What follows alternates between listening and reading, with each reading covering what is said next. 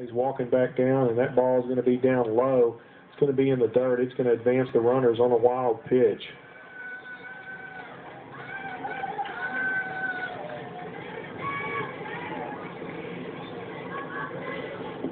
So runners now at second and third with one out.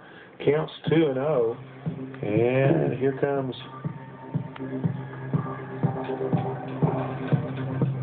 Tech coaching staff out there.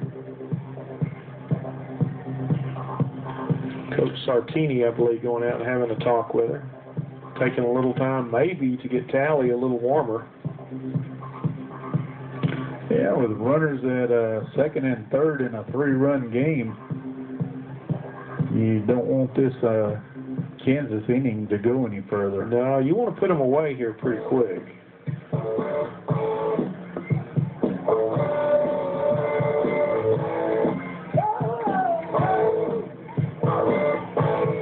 Brings up Laura Vickers, who has walked and uh, popped up to the pitcher.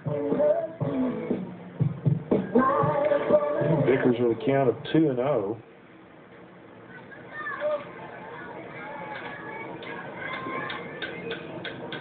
0. Red Raider outfield playing straight away.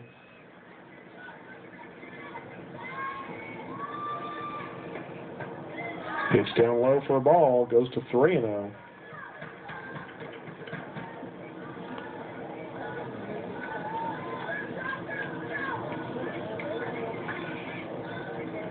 Red Raiders with 11 hits thus far in this game. Kansas with five. The Red Raiders five runs, two runs for the Kansas Jayhawks.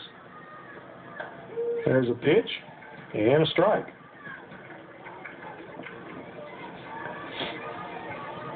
Felt like Bill Engvall. There's a golf shot.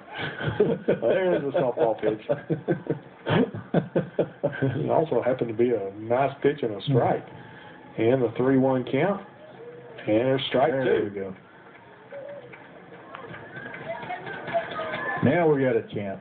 Yeah. Broke shoulder seemed to struggle there a little bit the last half dozen pitches, but the last two looked like she was in good control of them. See if she can get this strike out here. That's going to be hit to center field. Going back is Mikey Kinney. It's off her glove, and one run will score, two runs will score, and it's going to be a stand-up double for Laura Vickers.